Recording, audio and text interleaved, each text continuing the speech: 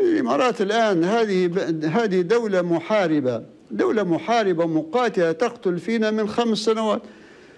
مش يعني هو واجب فقط أن نقطع العلاقات معها ولا الواجب أن معش يكون معها أي تعاون لا اقتصادي ولا سياسي ولا كذا. لا.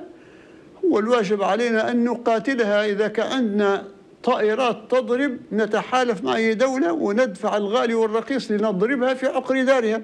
كما هي تفعل. فمن اعتدى عليكم فاعتدوا عليه بمثل ما اعتدى عليكم.